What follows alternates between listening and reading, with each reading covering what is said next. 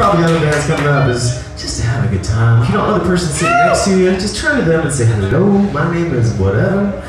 Nice to meet you. Let's get to know each other. Right. Rock and roll.